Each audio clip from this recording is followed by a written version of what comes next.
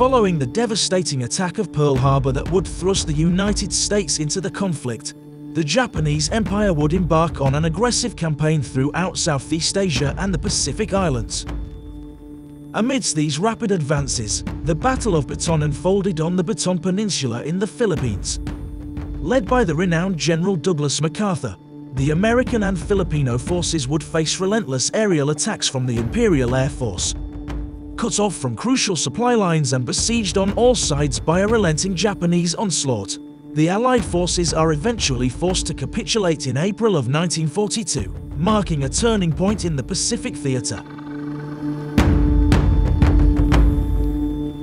On April 9th, approximately 60,000 locals and over 15,000 American prisoners were forced to undertake a grueling 100-kilometer march from the Bataan Peninsula to the Angeles region.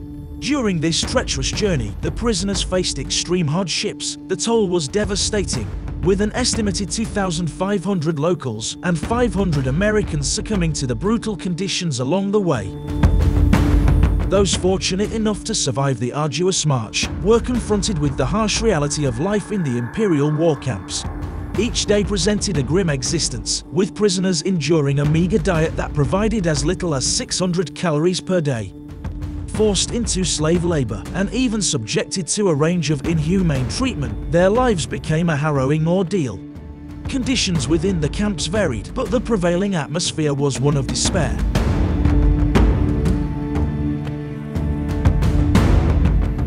In October 1944, the beginning of the liberation campaign aimed at regaining the islands of the Philippines commenced. True to his promise of returning, General MacArthur executes an amphibious assault on the island of Leyte. With Leyte now secured, his attention turns to the surrounding areas of the island of Luzon, the last and largest Philippine island, in order to clear the way for a full-scale assault.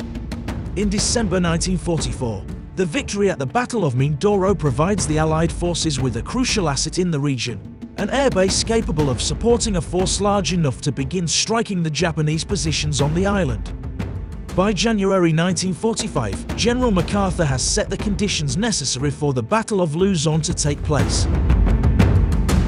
As the tides of war shifted against the Imperial Army, the Japanese begin taking drastic measures, High Command makes the decision to begin culling the population of prisoners amassed in the region.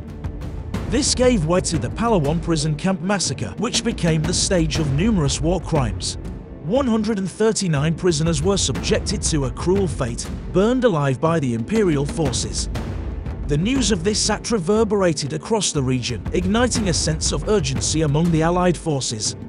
With over 10,000 US soldiers still languishing in captivity, the liberation of these Allied captives became a focal point of the US campaign in the Philippines. In the late days of January 1945, the 6th Ranger Battalion was created. Led by Lieutenant Colonel Henry Mucci, the men of the 6th Ranger Battalion were handpicked for their dedication and skills. From seasoned veterans to fresh-faced recruits, each member possessed a unique set of talents that complemented the unit. The Rangers were subjected to a rigorous training regimen that tested their physical and mental endurance. Under the supervision of Lieutenant Colonel Henry Mucci, their training took them through grueling obstacle courses, simulated combat scenarios, and intense physical conditioning. They learned to navigate treacherous terrain, traverse dense jungles, and execute stealthy maneuvers with precision. Through countless hours of drills, live fire exercises, and teamwork exercises, the Rangers became a cohesive unit.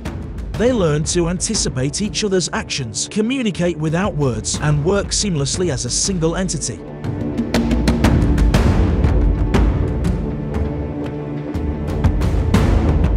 In late January of 1945, the newly formed 6th Ranger Battalion is tasked by the 6th Army with liberating the prisoners of the Cabanatuan prison camp. Nestled near the city that shares its name, the prison camp once served as a humble agricultural station for the local community.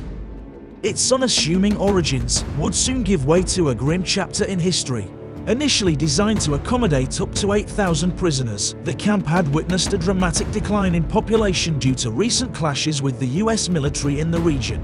As the tides of war shifted, the Japanese High Command found themselves reallocating resources to support their ongoing operations in the south. The result was a significant reduction in the number of prisoners held at Camp Natuen. All but the sick and disabled were relocated to various prison camps scattered throughout the vast expanse of the Japanese Empire. Amidst this shifting landscape, 500 prisoners remained behind within the confines of the camp. They were guarded by what was believed to be a relatively small contingent of around 300 Imperial soldiers.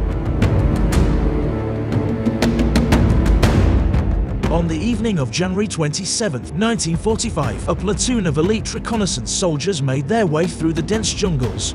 They were the Alamo Scouts, a reconnaissance party armed with little more than their wits and a few essential weapons.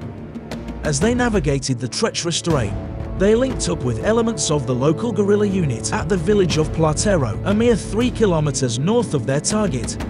With their forces combined, the reconnaissance mission began. Like shadows in the night, the scouts cloverleaf the prison camp, carefully mapping its layout and identifying potential weak points as well as enemy positions. From their concealed positions, they meticulously observed the activities within the camp, gathering crucial intelligence that would shape the upcoming mission.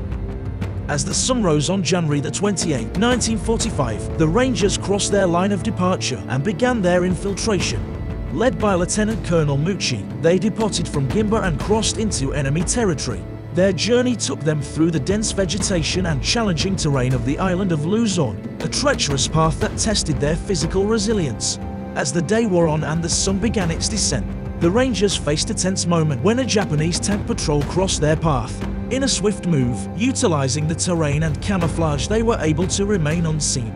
Later that night, the Rangers linked up with elements of the Filipino guerrilla. United in their common cause, they forged ahead, traversing multiple villages without raising the alarm. The guerrillas, masters of subtlety and deception, went to great lengths to avoid attracting the attention of the Imperial soldiers. Dogs were muzzled, chickens were caged, and the shadows of their movements danced in secrecy. Was at Balincarin, 8 kilometers north of the camp, that the 6th Ranger Battalion rendezvoused with the Alamo Scouts. The decision was made to delay the attack for 24 hours, allowing for further intelligence gathering and a deeper understanding of the enemy's disposition. The Alamo Scouts, disguised as locals to infiltrate the camp, observe and gather critical information. With meticulous precision, the scouts set up an observation post in an abandoned shack a mere 300 meters away from the camp's boundaries. Meanwhile, another detachment of scouts conducted a careful reconnaissance, weaving their way through the camp, seeking out the location of the captive American soldiers. After a night filled with tense anticipation, the reconnaissance group returned to Balincarin. They revealed the camp's major features, the enemy's disposition, the best attack positions, and most importantly, the exact location of the prisoners. The reality became clear. Around 500 Japanese soldiers stood as sentinels within the prison camp, while an additional 7,000 troops occupied the town. A tank shed had also been located by the scouts, and subsequently deemed a high-value target by the officers of the Ranger unit. With this confirmed information in hand, the Rangers devised their plan. Through strategic coordination, determination, and the acquisition of crucial intelligence, the stage was set for the rescue mission that would soon unfold. As the day turned into evening, the maneuver elements of the unit reached their designated release points. The vast expanse of rice paddies lay before them, offering little in the way of natural cover. However, their meticulous planning and reconnaissance had identified a crucial asset, a creek bed running beneath the highway and along the east side of the camp. It would serve as a key avenue for their approach. At 1800 hours, 3rd Platoon began their maneuver through the creek bed, taking position to initiate the attack precisely at 1930 hours. The remaining platoons, acutely aware of the terrain, had to advance painstakingly crawling towards their designated vantage points. Every movement had to be deliberate and methodical to avoid detection. At 1840 hours, Lieutenant Colonel Mucci's diversion plan, which had been carefully coordinated the night before, unfolded in the sky. A P-61 aircraft aptly named Hard to Get circled above the camp, executing daring maneuvers to distract the Japanese. At times, it came perilously close to a guard tower, emulating a plane in distress. The diversion successfully drew attention away from the approaching unit, allowing 1st and 2nd Platoon to crawl within 20 yards of the main entrance undetected. Simultaneously, 3rd Platoon crosses from the wood line into the open, having carefully traversed the creek bed. They position themselves in a support by fire position facing the pillbox situated on the south side of the camp. The tension in the air grew as the Rangers prepared for the pivotal moment. Then, at 1945 hours, what had been identified as H-hour, 3rd Platoon unleashed a torrent of gunfire on the guard positions. The eruption of noise and flashes of muzzle fire startled the night. Within seconds, the Japanese soldiers manning the guard towers and pillboxes found themselves under intense fire from multiple directions. As the guards in the outer positions fell, they redirected their attention towards the guard barracks determined to neutralize any remaining resistance. Meanwhile at the northern end of the camp, 1st and 2nd Platoon dispatched Japanese guards stationed in the tower along the north fence. 2nd Platoon then charged the entrance and broke open the front gate. The assault on the camp was in full swing. With the gate open, 1st Platoon leaped from the ditch on the north side of the highway and surged towards the camp. They were swiftly followed by the weapons section, unleashing a storm of firepower. Once inside the camp, the 1st Platoon moved down the central road, shifting fire to attempt to neutralize the Japanese soldiers entrenched in the officers' and enlisted men's quarters. With grenades and a flurry of bullets from their BARs and Tommy guns, the Rangers were able to effectively suppress the enemy. Although the Japanese were now unable to maneuver inside the camp, they were able to return fire and targeted 1st and 2nd Platoon causing multiple American casualties. Simultaneously, the weapons section advanced down the central road, tactically positioning themselves to engage the tank shed. A designated anti-armor operator took aim and fired, sending a rocket tearing through the building's thin walls. The resulting explosion reverberated through the surroundings, causing secondary blasts and sending shrapnel flying. In sync with 1st Platoon, 2nd Platoon moved in from behind them and leapfrogged forward. They raced down the center road, shooting off the lock of the gate and breaching the prison roof wall compound. Once inside the walls of the prison, they proceeded rapidly with gathering and evacuating the prisoners. Meanwhile, under intense fire, 1st Platoon swiftly moved to secure the southern end of the camp, creating a blocking force. While the main assault was taking place, a second weapons section was being held in reserve and maintained rear security, ready to provide support as needed. Inside the shelters, guided by the rangers, the prisoners streamed out of the camp, directed across the highway towards safety.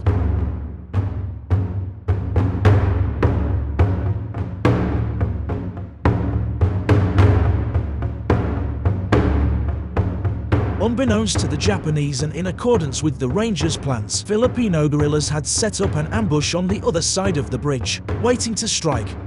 As the Japanese reinforcements rushed to the prison camp, they met an unexpected and devastating attack. The guerrillas detonated a charge under the bridge, catching the Japanese by surprise and inflicting heavy casualties. The fight raged on as the guerrillas engaged the enemy, preventing them from pursuing the retreating column of rangers and prisoners.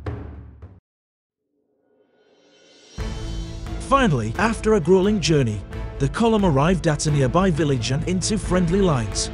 At 0900 hours, the 6th Ranger Battalion linked up with elements of the 6th Army, marking the end of their mission. The raid had been a success. The objective had been met and 516 prisoners had been rescued. However, the operation was not without casualties. Eight American soldiers had been killed and another 21 had been wounded during the raid. In contrast, approximately 225 Japanese soldiers had been killed during the raid. The Rangers had executed their plan with remarkable precision, liberating over 500 prisoners against a superior force. Their bravery and determination had prevailed, leaving a stark contrast to the heavy losses suffered by the Japanese forces. The operation not only showcased the bravery of the 6th Ranger Battalion, but also underscored the significance of employing fundamental principles in warfare. The raid served as a powerful demonstration of how a well-trained and disciplined unit, armed with accurate intelligence and employing elements of speed and surprise in a carefully executed simple plan, can triumph over even the most entrenched and superior enemy forces. It serves as a timeless reminder of the impact that focused leadership meticulous planning, and disciplined execution can have on the outcome of a mission. The raid stands as a testament to the indomitable spirit of those who dare to challenge the odds and achieve the extraordinary. If you enjoyed this video, please consider liking and subscribing. We greatly appreciate any feedback or suggestions you may have. Thank you for watching The Fog of War.